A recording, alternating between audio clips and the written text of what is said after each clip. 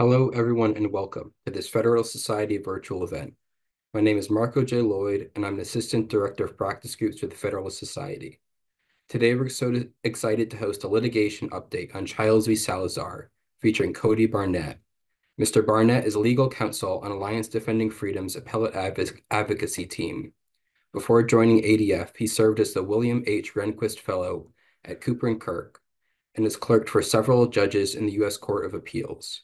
He earned his JD from the University of Kentucky College of Law, where he served as president of the Christian Legal Society and as an articles editor for the Kentucky Law Journal. Our moderator today is Tessa Shurr. Ms. Shurr is committee staff in the U.S. House of Representatives. Before joining the House, she served as litigation associate at the Fairness Center. A graduate of Penn State Dickinson Law, Ms. Shurr has also worked at the U.S. Department of Justice's Office of Legal Policy U.S. Department of Defense, and the U.S. Attorney's Office for the Middle District of Pennsylvania. If you'd like to learn more about today's speakers, their full bios can be viewed on our website, fedsoc.org. Finally, I'll note that as always, the Federal Society takes no position on particular legal or public policy issues, and all expressions of opinion are those of the speakers. With that, Ms. Thank you for joining us today, and the floor is yours. Thank you, Marco, and the Federalist Society for hosting us today. Welcome all, good afternoon, and thank you for joining us for this discussion of Chiles v. Salazar. I am pleased to moderate today's program in my personal capacity, so any remarks or opinions that I state today are mine only, not the House of Representatives or any members of Congress. So that said, for today's program, we have a question and answer feature on Zoom that we encourage you to use. We would love to see questions come in from you folks. So as you think of questions, please send them along. No need to wait until the end to send them in. And then Cody and I will turn to them during the final portion of today's program. So now I will go ahead and turn it over to our presenter, Mr. Cody Barnett, to tell us about this very important case. Oh, thank you, Tessa, and thank you again to the Federalist Society for having me today. It's a delight to be able to talk about this case and talk about the contours of what is at stake here. And I want to do that, I think, by walking through just a couple of different table setting uh, issues. And in order to understand this case, I think it's important to talk about number one, who is Kaley Chiles? Number two, what is Colorado's law and how does it affect her? And number three, what is the legal backdrop against which this law is evaluated? And so first, who is Kaley Chiles? So Kaley Chiles is a licensed professional counselor in Colorado. She started off her career working with people um, who dealt with issues of trauma, um, but now serves a variety of clients with uh, a wide array of mental health needs including personality disorders, eating disorders, addictions, gender dysphoria, and sexual attractions. Ms. Chiles is also a practicing Christian, and her faith informs her worldview.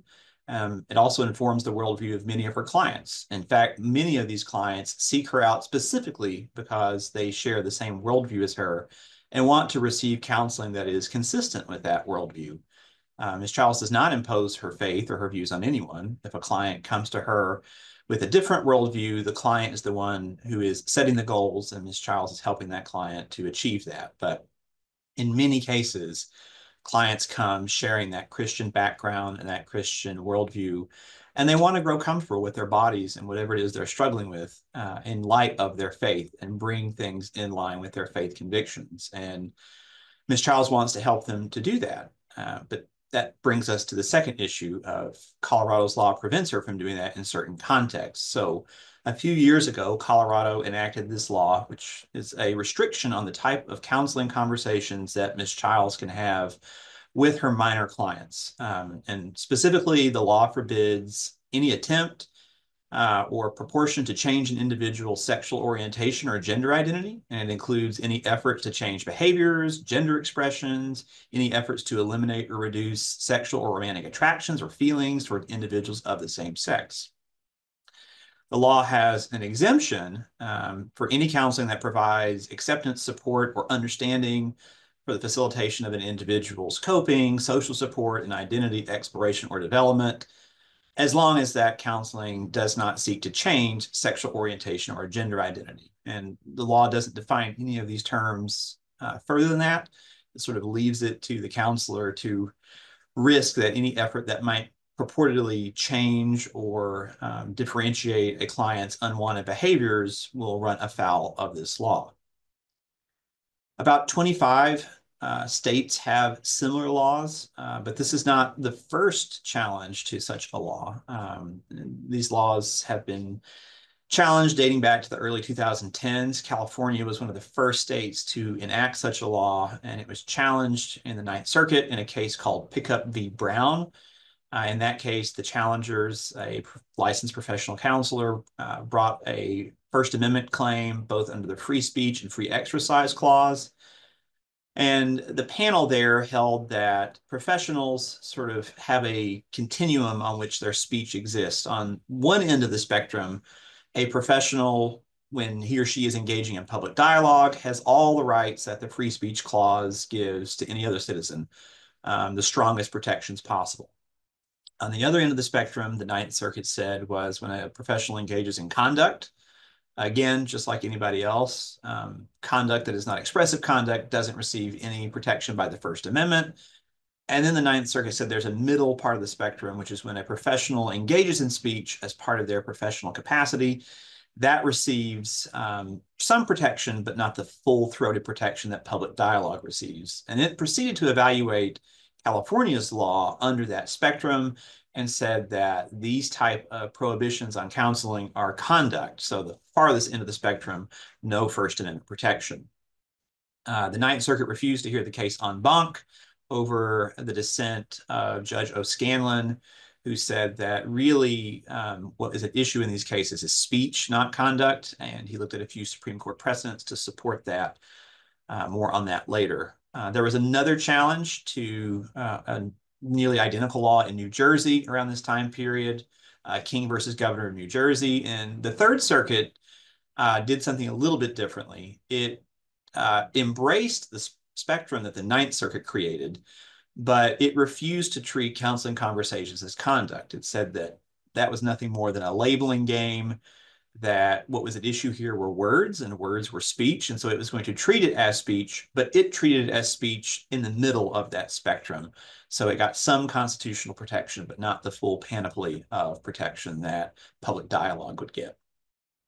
And then a few years later, the US Supreme Court took up a case, uh, NIFLA v. Becerra.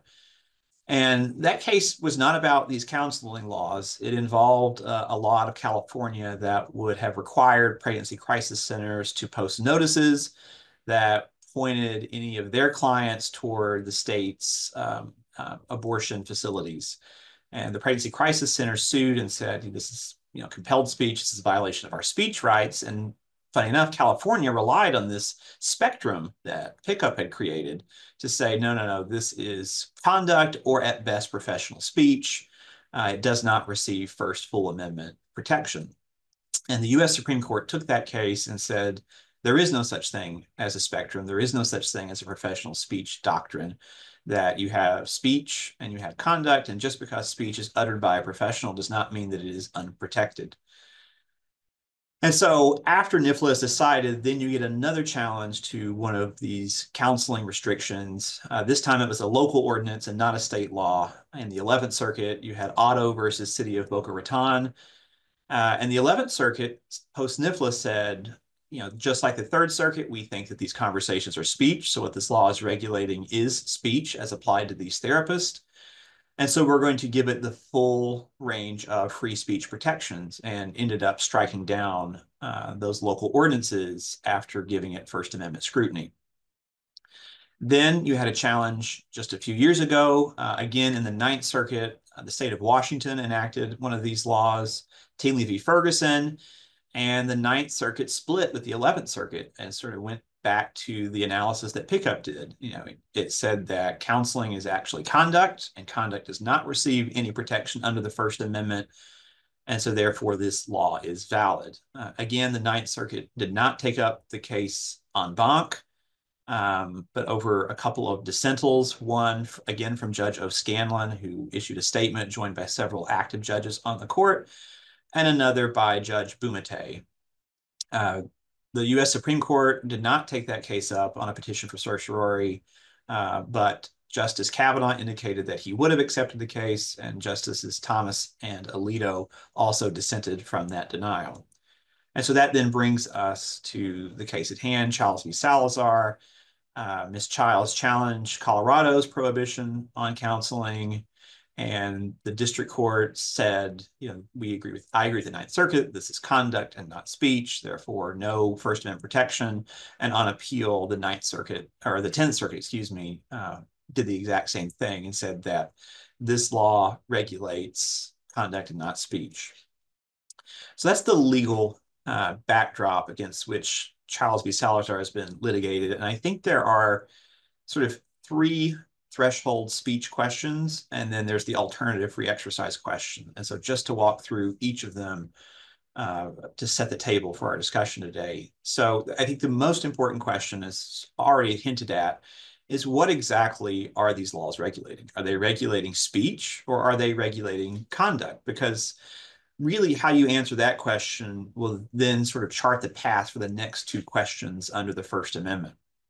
And as of now, the, the 10th Circuit has entrenched a split amongst the circuits on whether conversations in the counseling room are considered speech or conduct.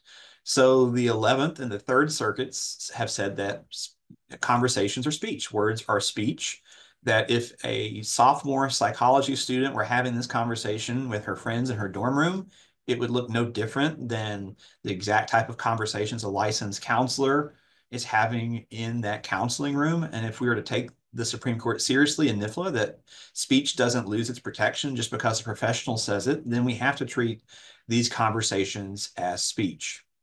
And they were really drawing on a long line of Supreme Court cases that have looked at laws that generally regulate conduct, but as applied to particular plaintiffs, actually regulate speech or expression. And so to, to, name two of those that the 11th and 3rd Circuit looked at that were also at issue in Chiles, you know, one dating back to the 1970s, Cohen v. California, taking us back to our days in law school and con law. This was a case where a citizen wore a jacket with some expletives on it. He was cited for disturbing the peace, and the U.S. Supreme Court said that even though disturbance of the peace generally is aimed at conduct that what it was really targeting in that particular case was expression. It wasn't the wearing of the jacket conduct that was the problem. It was the words. It was the communicating of the message on that jacket. And so applying a disturbance of the peace statute to that jacket was actually applying it to speech. And so therefore it had to be afforded the same first amendment protections because it was not targeting conduct but speech Fast forward about uh, 15 years ago, Holder versus Humanitarian Law Project. Congress enacted a law that forbade giving material support to certain terrorist organizations. You had some lawyers and other professionals who wanted to give advice to groups that were designated terrorist groups. The United States government said that this violated the statute. It was material support. Uh, and the case, again, is giving material support in that instance conduct or is it speech? Generally speaking, giving material support would be conduct.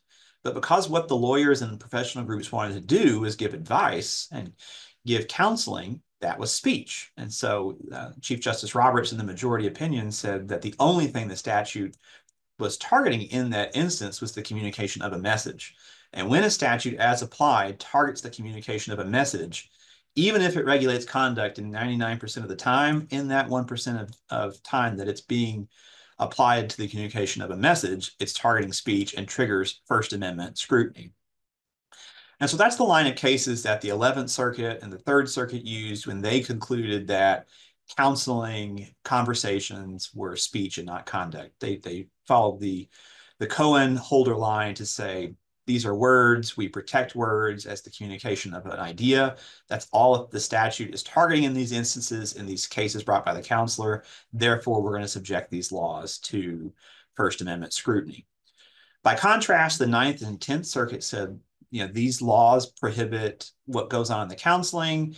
Counseling is a profession. It is considered a medical profession. These type of conversations are considered a treatment. Treatments are generally conduct. And so therefore what these laws are doing are regulating conduct, not speech. Um, to the extent these laws regulate speech, uh, the Ninth and Tenth Circuit said, it does so only incidentally. Uh, it does not target speech at its core.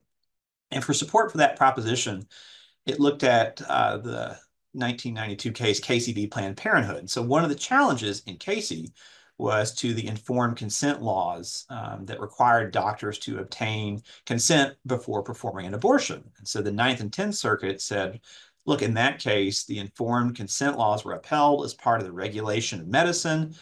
It absolutely implicates speech, but only does so at the margin. These counseling conversation restrictions are no different from there. And so therefore, these are regulations of conduct that at best uh, sweep in speech only incidentally. And so you have a fairly entrenched two to two circuit split on what are counseling conversations? Are they speech or are they conduct? And so the, the second two questions, um, one of them is only implicated on one side of the split. So saying that something is speech doesn't answer the constitutional question. We don't end the analysis there. We then ask if something is speech, how is this law regulating speech? Some laws can regulate speech in a very neutral way, and therefore courts take a lighter touch, but some can do so in a very non-neutral way, and therefore get higher degrees of scrutiny. And so the two ways generally that laws can regulate speech uh, high-handedly that kind of requires more judicial scrutiny are what we call content-based and viewpoint-based. Content-based is when uh, a law regulates speech based on what it says. And the Supreme Court has said the way that we can tell that a law is content-based is if an enforcement official has to look at what the speaker is saying to decide whether or not the law is violated. Similarly, viewpoint-based is just a worse form of content-based speech. It's not only censoring speech or you know, prohibiting speech or punishing speech based on its content, but it's doing so based on a specific viewpoint in a matter of debate. And if laws uh, are content or viewpoint based, again, they get higher degree of judicial scrutiny. So the 11th and 3rd Circuit, um, because they viewed these counseling restrictions as regulations of speech, uh, then had to decide, well, how do these laws regulate speech? Again, the Third Circuit, um, after pickup, said, well, it's regulating speech in a professional context, and that means it gets less judicial scrutiny. And the Supreme Court in NIFLA expressly abrogated that doctrine. In fact, it cited Pickup and the Third Circuit's case King by name for disapproval. Uh, so the Third Circuit's analysis is a dead letter on this issue, but the 11th Circuit said these counseling restrictions are both content-based because they only apply to certain speakers talking about certain subjects, namely sexual orientation or gender identity, and they also said that they're viewpoint based. Um, in fact, that's baked into the heart of this law and its exception. If you are pro change, then your speech is restricted. If you are against change, then your speech is allowed. And the 11th Circuit said that that is classic viewpoint discrimination. And so that is the, the second uh, question um, but only if you conclude that these laws target speech. And so then the third question becomes they implicate speech, they implicate conduct. How much is the judiciary going to look under the hood? You know, what kind of deference are they going to give to the legislature, or what kind of scrutiny are they going to require these laws to meet? Um, again, starting with the 11th Circuit, you know, if these laws regulate speech and if they do so in a content and viewpoint based manner, then they have to satisfy what we call strict scrutiny. And strict scrutiny really requires the government to do two things. Uh, first, the government has to show that it has a compelling interest in regulating speech, that the reason that it is doing so is of the highest order. Uh, and not only that, but the Supreme Court said that that interest has to be compelling vis-a-vis the particular plaintiff, that it's not just some abstract level of interest, but it is an interest that is compelling as to the particular speaker in question. And the second thing the government has to show that there's really no other way to achieve that interest but for the speech regulation at issue. It's very rare for the government to win when uh, strict scrutiny is enacted. Um, you know, we there's a joke amongst constitutional litigators that it, that strict scrutiny is basically fatal for the government. And so you can see and understand why the government tries to argue that strict scrutiny does not apply, um, that these laws either are targeted conduct, um, because as we'll get to, that does not get strict scrutiny, or they're targeting speech in a neutral way that only gets a lesser form of scrutiny. Um, and so that brings then to what the Ninth and Tenth Circuit did, because they concluded that these laws target conduct and not speech, they subjected it to rational basis. Um, and rational basis review just means that if there is any rational reason for the legislature to have enacted this law, it will be upheld against a constitutional challenge. And the legislature didn't even have to invoke that rational reason. If the judges themselves can think of a rational reason, that generally will suffice. So it's sort of the opposite of strict scrutiny. The government generally tends to win under rational basis. And that's exactly what the 10th Circuit held in this case. It held that Ms. Chiles' conversations or conduct, that the uh, state had a rational reason to prohibit what it sees and views as ineffective counseling. And so therefore, Ms. Chiles' First Amendment challenge had to fail. And so I think that frames what is at the heart of these cases, which is the free speech challenge. There is an alternative challenge that has been raised in these cases, which I've alluded to a little bit, which is a free exercise. So the First Amendment protects not only the freedom of speech, but also the free exercise of religion. And I think it's important to note that these counseling restrictions target overwhelmingly counsel provided by and sought by religious folks. Uh, it's generally counseling that people with deep religious convictions, generally in the Abrahamic faith, are, are trying to bring certain parts of themselves in line with those convictions. So they want to grow comfortable with the body that they think that their God has given them. They want to grow comfortable with the tenets of their religious faith, and they see certain sexual attractions, sexual behaviors as intention with those tenets. And rather than elevate those attractions and behaviors above their religion, they would like to bring them in harmony with it. And so they want to seek out a counselor who shares that worldview and who will help them be able to achieve that harmony. Um, and so these laws fall very disproportionately on people of faith um, in the sense that it prevents uh, counselors of faith and counselees of faith from getting the type of counseling that, that they want to receive in accordance with that. And so in pickup, there was a free exercise challenge brought. The Ninth Circuit rejected it and said that you know anyone can get this kind of counseling. It's not targeted at religion. Tingley also brought this in the Ninth Circuit, and the Ninth Circuit again doubled down on what it said in pickup. And Ms. Chiles also brought a free exercise challenge as well. Um, and really the crux of the free exercise challenge looks at a case from the 1990s out of the Supreme Court called uh, Church of Lukumi Babalu Aye versus City of Hialeah. And so that was a case where a local town had enacted an ordinance that prohibited sacrificing animals, basically aimed at a local religion that involved animal sacrifice as part of its rites. And the town said, you know, we have an interest in you know, protecting these animals and hygiene. But the problem was that this town had basically enacted so many exemptions from its laws that the only people that the law applied to in its real operation was the particular religion at issue. And the Supreme Court said that that was um, a violation of the free exercise clause, that a law's real operation is strong evidence of what it is targeting, that even if on its face, it says nothing about religion, if in its practice it's actually falling disproportionately on religion, it is just as if the law were to say religion on its face.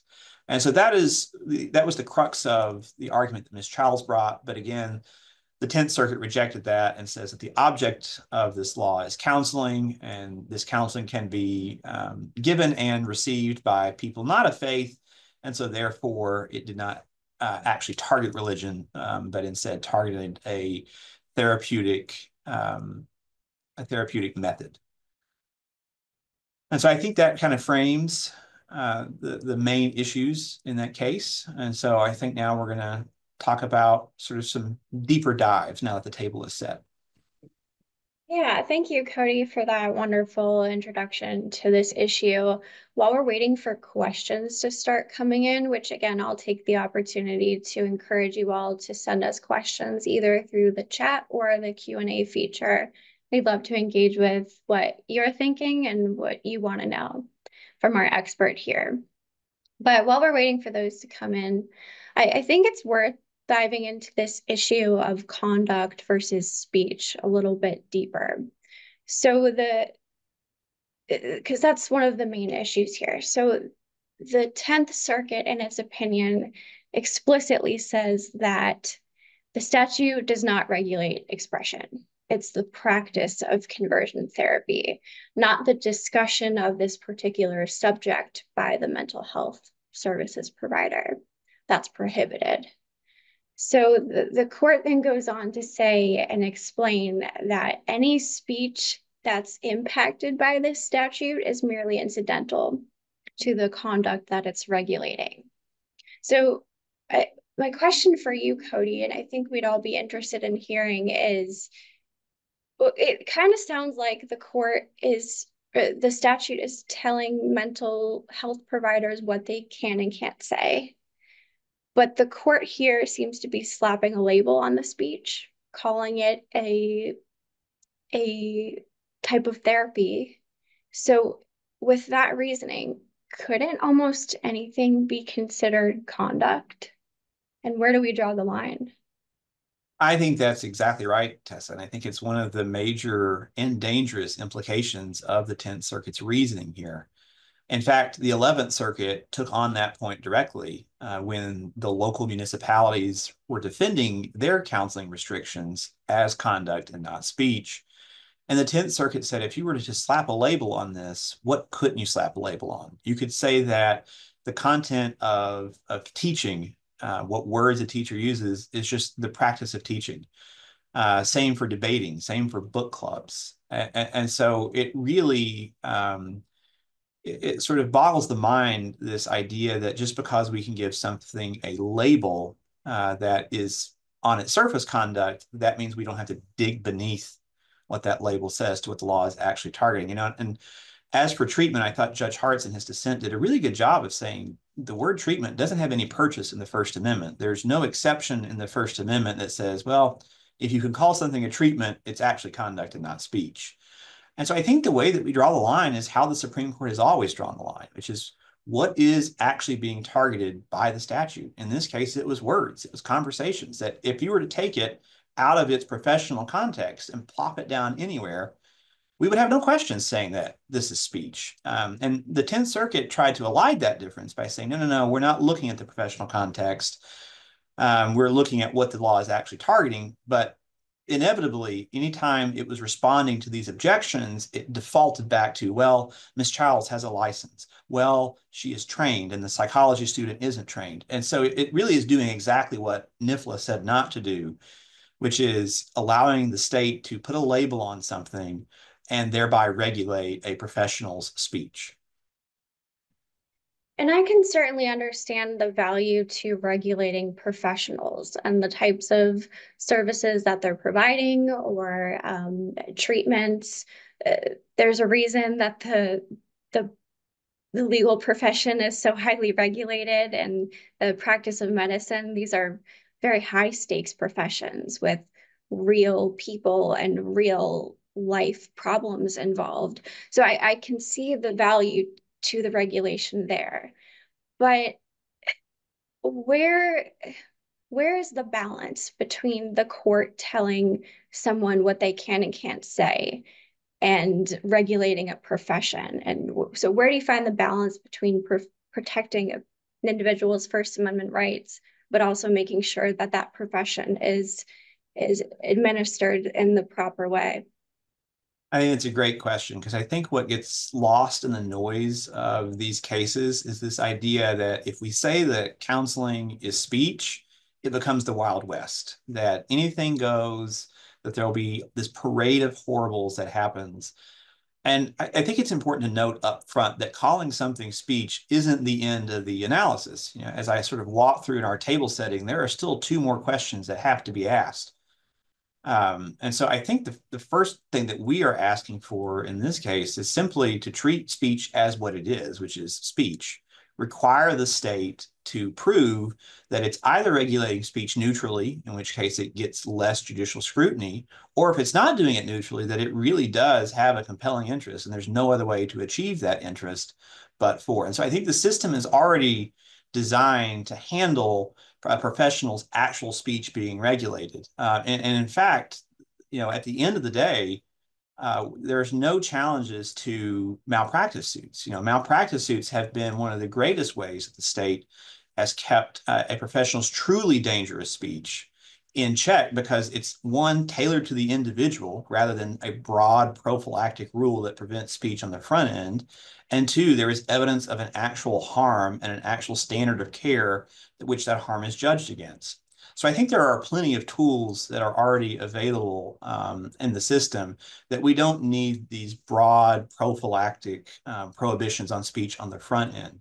Uh, and, and in fact, if you look at the case that the 10th Circuit relied on most heavily, which was Casey for this point, um, you see that that is an actual instance where speech wasn't being targeted up front because what you had there absent the physician getting informed consent, the physician would be uh, performing a battery, uh, you know, tort law that has regulated that because absent consent, any touching of a person is a battery. And so the speech wasn't at the center of that. It was actually the tort that was at the center of that. Uh, and so the law requiring the physician to get informed consent really wasn't requiring the physician to do speech first and foremost. It was requiring the physician not to do a battery. Thank you. We had a question in the Q&A section for you, Cody.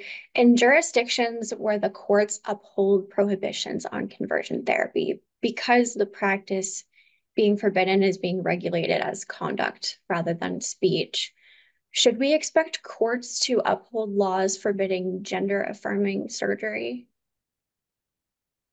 So I think that's a, a really good question. I want to break it down into two components. You know, one, I think gender affirming surgeries is more like Casey in the sense that what we are talking about there are medical procedures, that there's no speech involved there, that is a concrete, abstract, or not, excuse me, you can't be concrete and abstract at the same time, a concrete medical procedure at issue. Um, what you know, the question may be getting at is, you know, gender affirming care in the counseling context. And I think what's good for the goose is good for the gander, that if a state can prohibit uh, conversations between client and counselor that seek to change uh, and bring someone's, uh, you know, someone's sexuality and someone's gender identity in harmony with their faith, then it's hard to understand why a state couldn't also prohibit counseling that does the opposite, that encourages a client to embrace same-sex attractions or embrace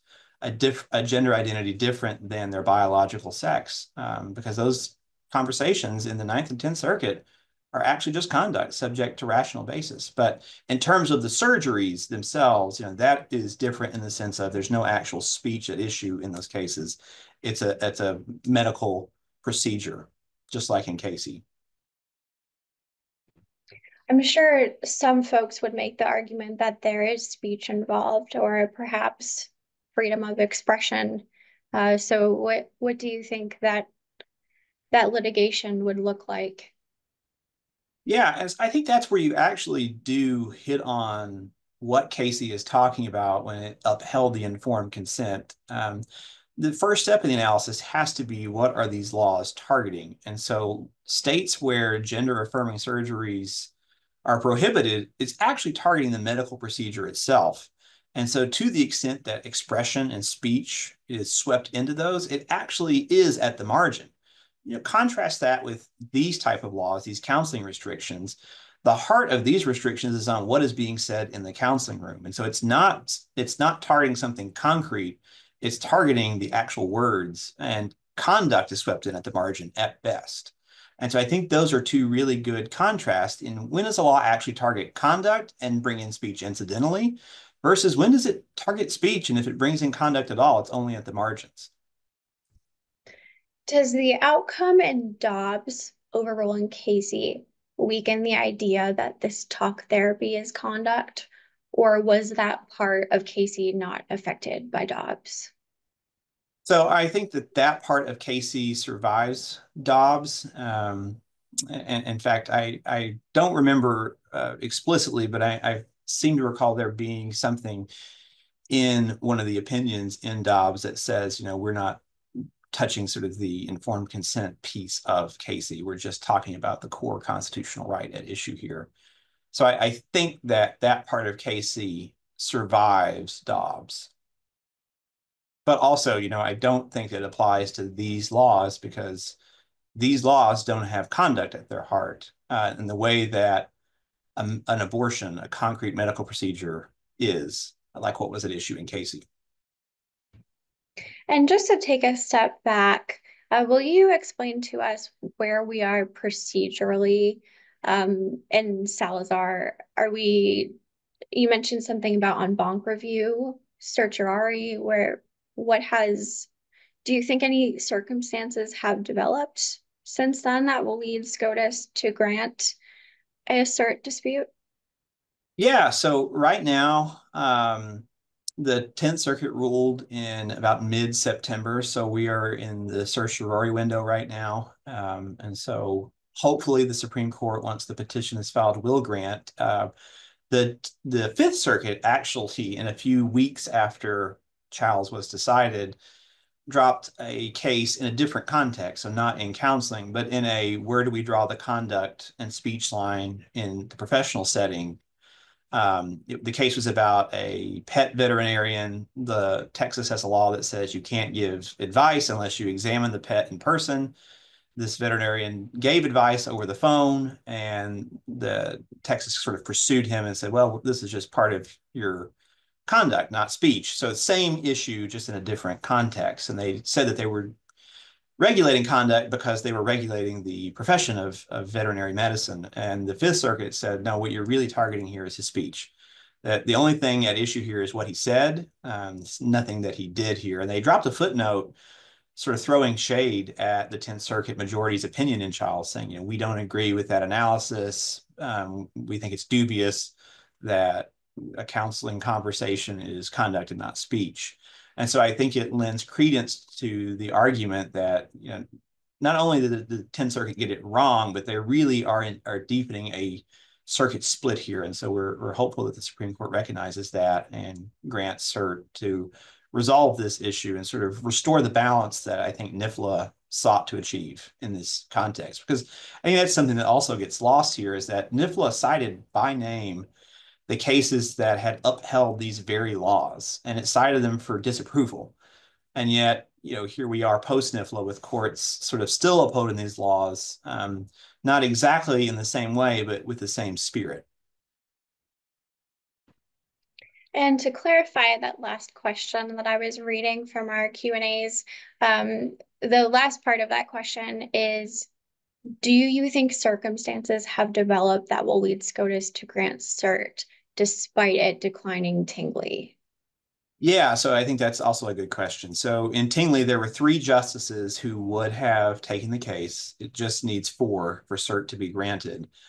And so I think the deepening of the split itself um, is a circumstance that should lend more credence to another justice signing on. But I also think just the changes on the world stage of how we are thinking about gender dysphoria and the right standards of care for it because I think, you know, I'm happy to talk legal doctrine all day, but sometimes what gets lost is the real world consequences of these these counseling restrictions. You know, uh, the United Kingdom issued a report where it commissioned someone to determine, you know, what is the best standard of care for people suffering with gender dysphoria.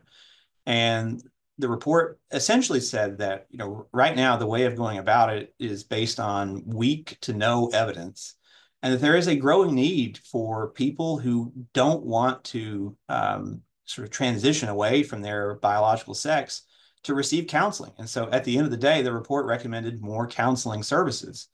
And yet you have at least 25 jurisdictions at the state level, let alone municipalities, that prohibit the very counseling that the United Kingdom says is desperately needed. And so in the Ninth and 10th Circuit right now, you have untold numbers of people who can't go to a counselor and get the type of counseling that they want for the issue that they need most, which is bringing their body in harmony with their convictions and is what the world is now recognizing as the one of the best standards of care. So I think those developments in the last year have really been explosive and have really showed the need to not only just treat this as speech, but just allow this type of counseling for the people who desperately need it. Now, taking a step back, thinking about the protection of speech more generally, when, and this is from our audience as well, when it comes to the amount of protection speech receives, does it make a difference whether the counselor or speaker is privately employed versus publicly employed? Uh, as in, the employer receives government funding or is a government entity? So, you know, there are lines of cases from the Supreme Court that talk about when does a publicly when does a public employee speak on their own behalf versus when are they speaking on behalf of the government. The government obviously has more latitude if government speech is an issue um, under current Supreme Court doctrine. But so far, all these cases have been brought by private individuals who are in private practice um, and are challenging. So that line of cases um, won't be implicated in any of the current challenges to these type of, of counseling restrictions. And in this case, the plaintiff was employed privately, correct? Correct. correct.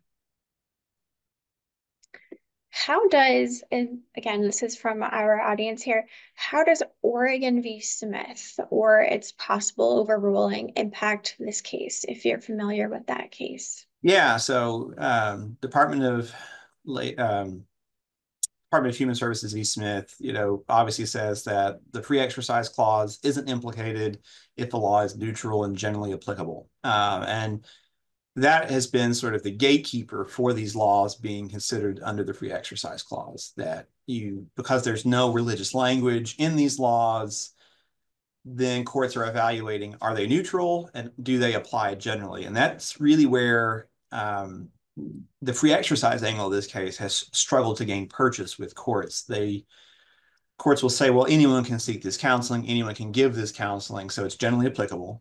There's nothing on its face that is targeting religion. It may have a disparate impact on the religious, but that doesn't matter for the free exercise analysis. And so I think Smith has stymied sort of development on the free exercise question here. I think if the court were to overrule it, I mean, the question is, well, what comes next? In terms of what the implication would be. You know, if the court does what it's doing in its Second Amendment context, which is look at history and tradition to determine sort of the contours of the free exercise clause, I think that would go a long way um, toward elevating the free exercise component of this case. And this was really the subject, too, of Judge Bumatay's dissental in Tingley when the Ninth Circuit did not rehear Tingley en banc. He said, not only are we dealing with speech, but we are dealing with religious speech, which the Supreme Court in Kennedy said ought to get double protection. Uh, but Smith is kind of neutering that aspect of this case. And so I think if the court were to go more along the lines of, you know, what have we historically done? Um, you know, these type of conversations have not been restricted historically. Uh, and so I, I, do think that the, a, a post-Smith world might be friendlier to the free exercise part of this case.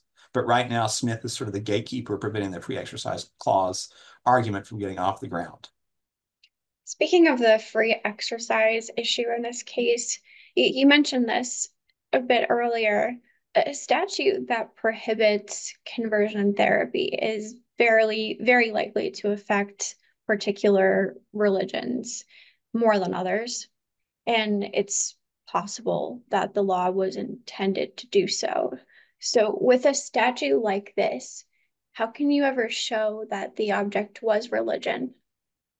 Yeah, I think it's very difficult to do in a Smith world. I think this is another way that Smith sort of impacts it because if the legislature is halfway competent and they don't put religious terms in the statute, then you are forced to try to smoke out the legislator's true motives here. And you know, I think one way to do that, according to the Lukumi case, is by looking at the real world object. You know, how is this law actually functioning in the real world? Yes, we can come up with hypotheticals, but what is the law really restricting? And that has been the angle that these cases have taken, but it's not been something that the courts have really bitten on. Um, they have kind of insisted that, well, anyone can get this counseling.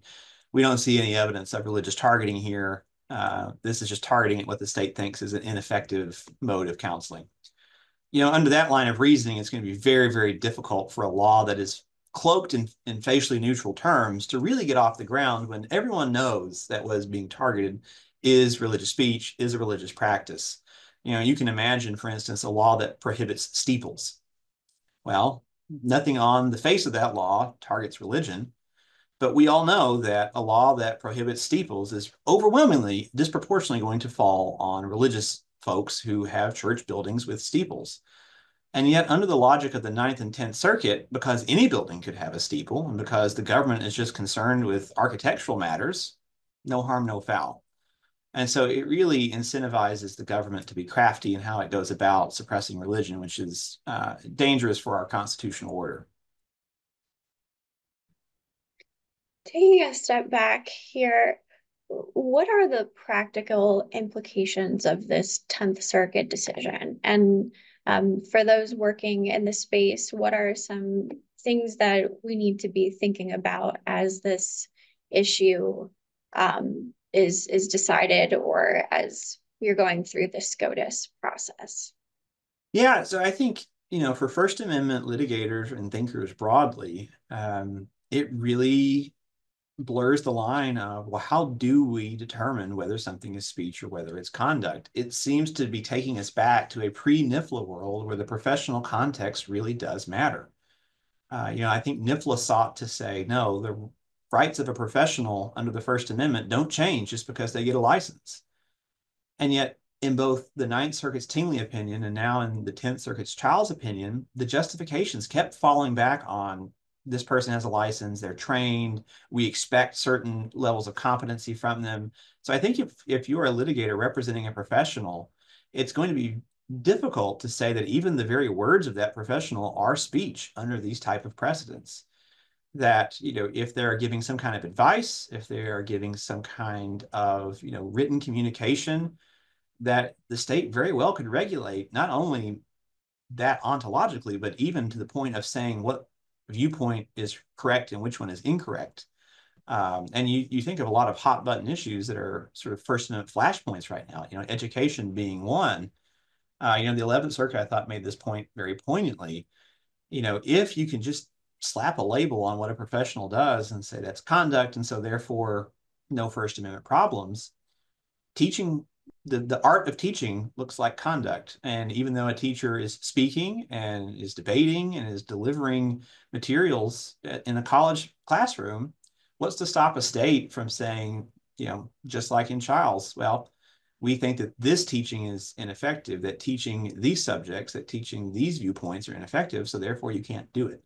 So I think it should be very concerning for any of us that represent professionals in the First Amendment context um, because it's going to make it very difficult in, um, without the Supreme Court, you know, again, affirming that the way we tell what a law is targeting is by looking at what it's actually hitting upon. Um, what areas of using the court's reasoning, uh, the, the 10th Circuit's reasoning, what areas of the practice of law do you think could be regulated? As lawyers, I think this is probably a question we're all thinking. We're professionals, our profession is heavily regulated. What about our speech? Yeah, and so this is actually being litigated right now under this same sort of tug of war between is it speech, is it conduct? Uh, in the Second Circuit, I think it was last summer they heard an argument and haven't issued an opinion yet. Uh, this pro bono clinic, non lawyers wanted to give certain legal services to clients, and it was all services that were speech based, you know, tax advice, trust and estates type of issues. And the New York bar came after them and said, This is the unlicensed practice of law. You can't do this. And the district court actually said, No, all they're doing is, is speaking, and that gets First Amendment protection. And so the state bar appealed that, uh, and that's pending before the Second Circuit right now. And, you know, an argument we often run across in this setting when talking about counseling as well, legal profession, we can't commit fraud on our clients. But I think it's important to remember, too, talking about practical protections and the sky not falling if we treat speech as speech. You know, there are certain categories of words that have historically been unprotected. And the Supreme Court has been clear that that falls outside the scope of the First Amendment fraud and obscenity being two of those. And so it's not like finding that a counselor's speech is speech is going to allow the worst of the lawyers to suddenly go out and be, you know, hucksters and fraudsters. There are, again, protections in the system designed to deal with that.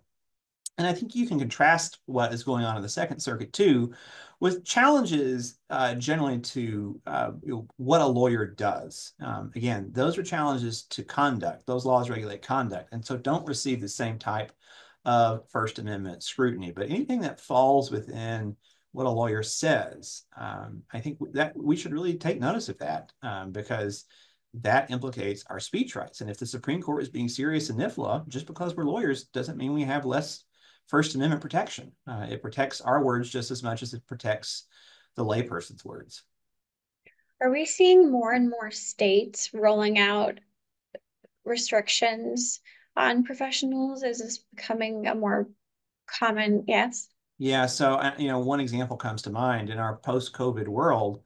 We've seen a lot of states pass misinformation statutes that prohibits doctors from giving what the state calls misinformation to uh, patients. And who determines what is misinformation? Well, the state does. And that is not only antithetical to the letter of the First Amendment, but certainly to the spirit of the First Amendment, where government censors were licensing people that they liked and not giving license to people they didn't like in 1780s and saying, you get to speak because you have a license because we like what you say, and you don't get to speak um, because we don't like what you say. Um, and in fact, we're seeing this in the foster care world where states will not allow people who want to foster children to foster children unless they agree with the state's ideology about fostering. And they're saying, look, this is just the regulation of conduct. These are professional parent, foster parents. Uh, and so th these cases have had, uh, and in fact, they cited Tingley for that very proposition. This was in Oregon. So these cases have had ramifications beyond just the counseling context. You know, it's, it's affecting the medical profession it's affecting whether or not you can foster children. Um, and I think there are certainly going to be more ripple effects to come, especially just as a broader society. We debate what it means to be fake news, what it means to be misinformation, disinformation, and how we best go about remedying what we see as those kind of problems.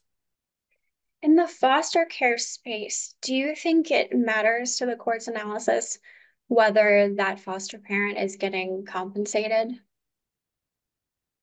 So I don't, I'm not sure if it does. Um, but if it does, you know, I'll say that it shouldn't. Um, you know, again, thinking about how the Supreme Court has approached the issue. If we're talking about speech, which by requiring foster parents to espouse a certain ideology, the state is compelling speech. It's compelling foster parents to say, we believe X, even if they don't believe X. And in 303 Creative, uh, just two terms ago, the Supreme Court said that just because someone gets paid for their speech doesn't make their speech any less protected. So even if a foster parent is getting compensated by the state, that doesn't lessen the degree of protection that the First Amendment affords them. Certainly. I tend to wonder if it will become an issue as we're seeing this conduct versus speech in the professional space becoming more of an issue uh, with I think in the common sense, we tend to think of professionals as they're working a job they're getting paid. They're a healthcare provider, they're a doctor, they're a lawyer, they're a professional. When it comes to foster parents, that probably depends on the jurisdiction, and perhaps we'll see that issue come up. Right. And, you know, I, I do think it is certainly a stretch for the state to say that there is such a thing as professional foster parenting and to justify its restriction on those grounds. But I think the principles are the same, even if that holds true, that even if there is such a thing as professional that I think the Supreme Court meant what it said in NIFLA that you know whether it does not matter whether you are a professional or not. If what you are doing is engaging in speech you get the full panoply of free speech rights. When it comes to counseling restrictions like in this case here at the 10th circuit have any serious arguments been made that these counseling restrictions survive strict scrutiny? So you know the 11th circuit dealt with this more just because it did find that these laws target speech and not conduct. And so it walked through, I think, what are usually the state's arguments. You know, number one, the state advances as, as its interest things like protecting children, things like, you know, in, regulating the integrity of the counseling profession. And you know, what we're finding is that there's just no evidence that what is at issue in this case, which is voluntary conversations between a counselor and a client who is setting the goals. Um, that there is the type of harms the state is saying comes from this counseling has ever been demonstrated. In fact, that was a question that was asked of Colorado at the oral argument in Chiles. And rather than point to any evidence that showed the type of harms, Colorado said, well, it would be unethical to gather this type of evidence, which creates a nice tautology for the state to satisfy strict scrutiny. Well, these harms exist. Well, where's the evidence for these harms? Well, we can't test it. You know, you just have to trust us. And so it, it, it there are there are none, in my opinion, uh, of the arguments that are being advanced that actually show that the type of harms the states say come from this type of counseling really exist. The the evidence the states generally point to are from aversive techniques, uh, things that happened in the 1960s and 1970s that were not speech-based, but were conduct-based, uh, things that were not voluntary, things that weren't even done by licensed professionals. Uh, so I think if we ever get past the speech fee conduct line, I think it's going to be very difficult for the state to meet strict scrutiny just because they've they haven't been producing evidence in these cases that tailors uh, the harm to the actual counseling that's being done, which is voluntary conversations, you know, words only from clients who really want them uh, and consent to receiving them. Thank you. And looking at the clock here, we have just a few minutes left. So if there are any lingering questions, please send them in now. Otherwise, I'll give Cody an opportunity to cover anything he would like to speak more about. Um, we do have one question for you, Cody.